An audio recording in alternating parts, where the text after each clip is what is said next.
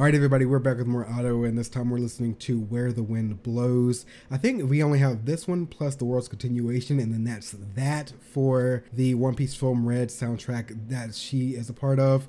But man, I've really, really enjoyed my time with her so far. But, anyways, I don't waste too much time. Let's just jump straight in and give it a listen.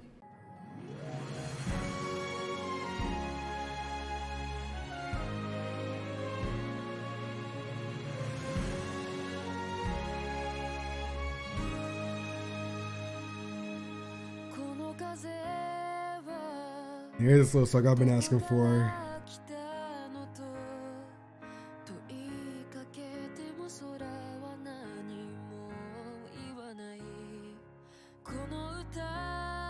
Like a reminiscence kind of thing going on.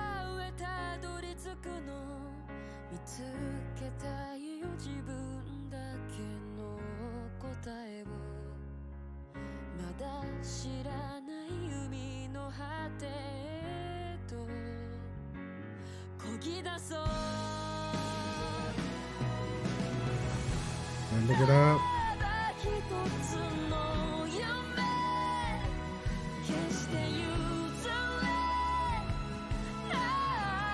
This was emotional. Woo wee.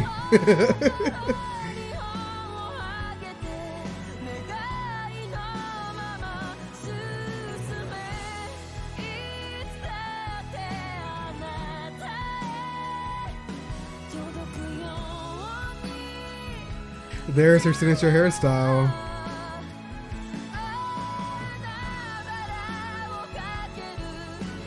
I just noticed the white and red. Are those two meant to be her? Or is this just like a visual thing, you know? Because I know the main character has white on one side, red on the other.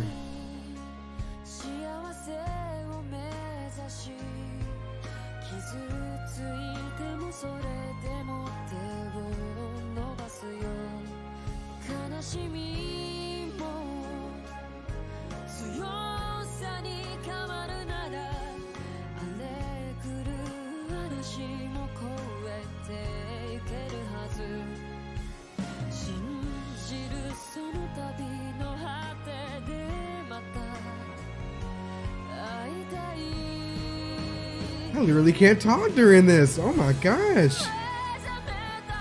I don't think this can go up.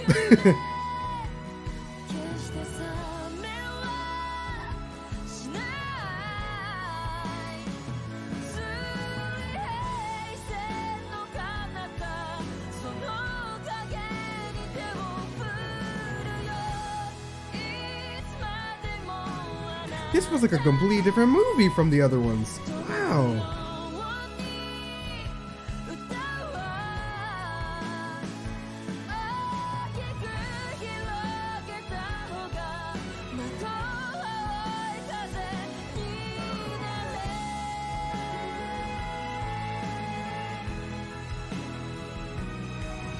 the white and red cups.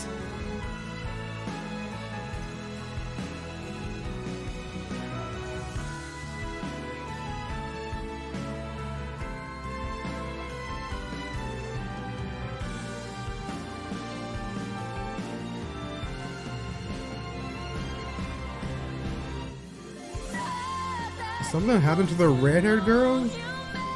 Or maybe I'm looking too deep into it. It's like a symbolism kind of thing. it does a person, I don't know.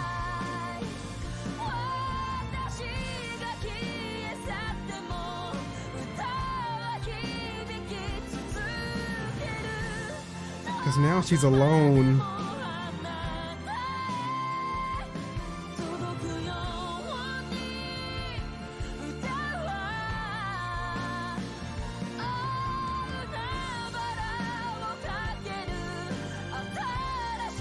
Doing her hair by herself.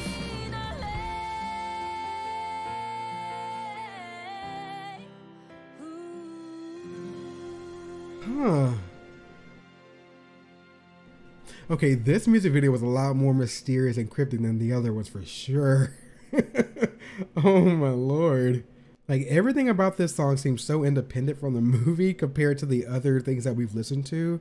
You know, especially with the music video. I try I was trying to figure out some sort of correlation between, you know, the people that we were seeing in the music video compared to the other videos, and I, I can't, I couldn't find one. Like maybe this is just a visual of two sides of Uta, maybe because obviously one girl we had the white hair, and the other girl we had the red slash pinkish hair.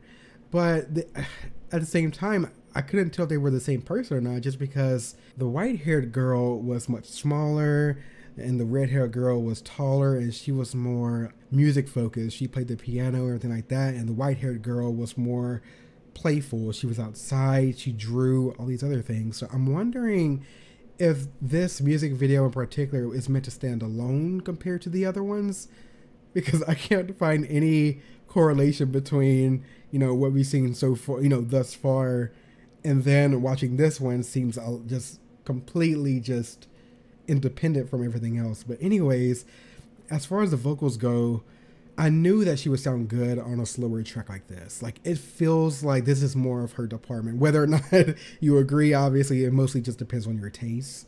But um it is really impressive how she is able to switch it up so effortlessly. At well, at least it feels effortless. But Okay, yeah, that's another one down. I'm curious to see what the last one's going to sound like.